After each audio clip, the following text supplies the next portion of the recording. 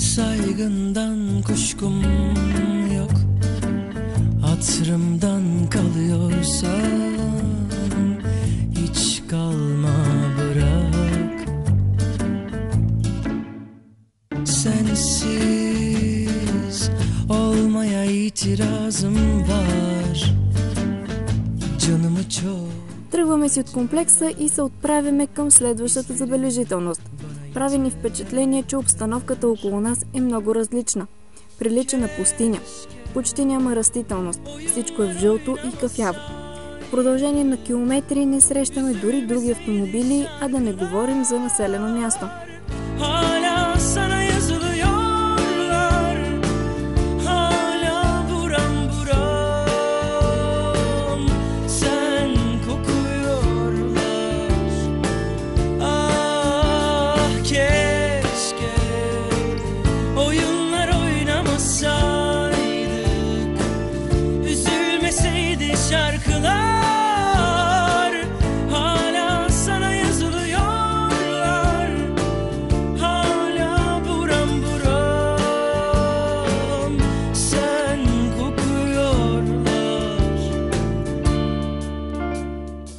Решихме да спрем и да разгледаме наоколо. Наистина е много мистично. Сякаш сме в истинска пустиня, но това не е пясък, а пръст.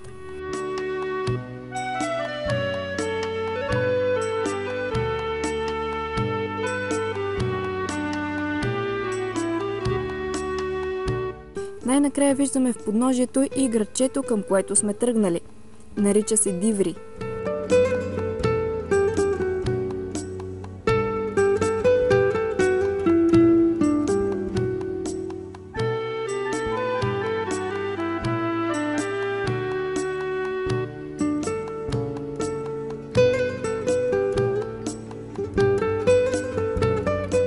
Бавно слизаме към града. Това място няма нищо общо с космополитните градове, в които бяхме досега.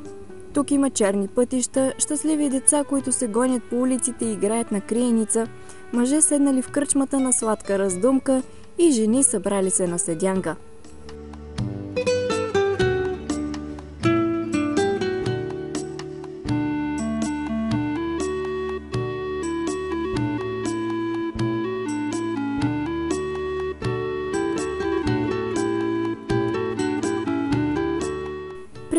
Преминавайки през градчето, стигаме и до най-високата му точка. Тук е и съкровището, което търсим.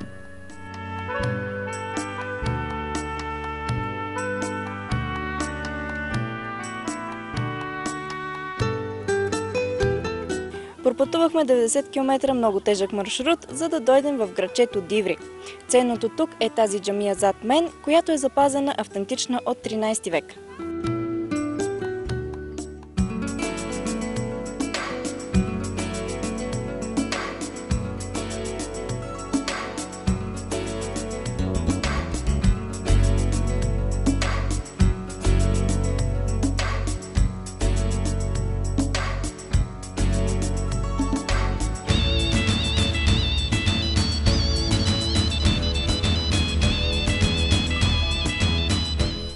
Джами или голямата джамия е комплекс с лечебница. Това е най-грандиозната сграда, най-красивата, която е строена от турците в този регион. Външно много добре декорирана. Един прекрасен шедьовър на изкуството. 1985 година е включена в списъка на ЮНЕСКО като културен паметник.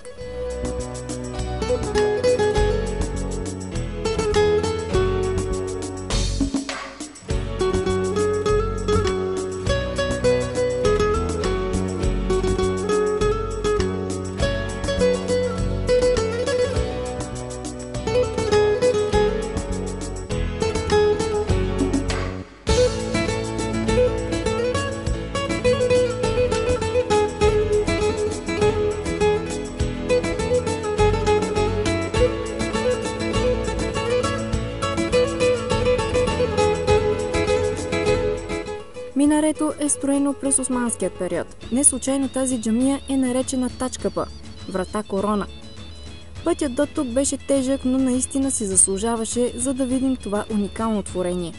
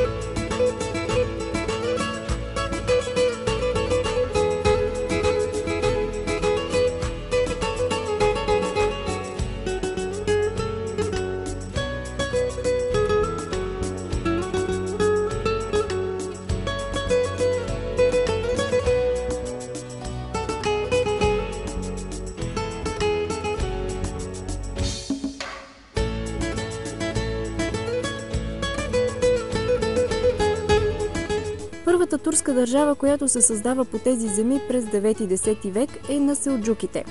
Те идват от Мала Азия. Към края на 13 век тази империя се разпада и става на по-малки бейлици. Диври е център на точно такъв бейлик.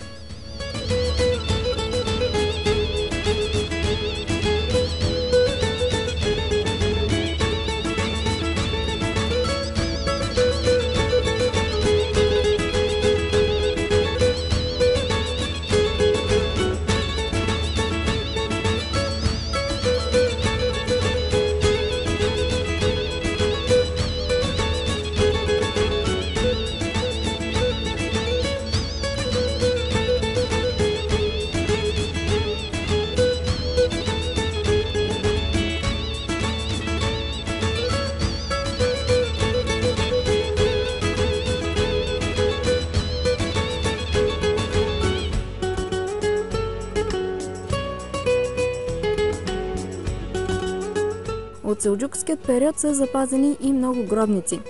Направиха ни впечатление заради странната си форма, пръснати са навсякъде с градчето, запазени до днес и изглеждат доста атрактивно. Наричат ги кюмбет.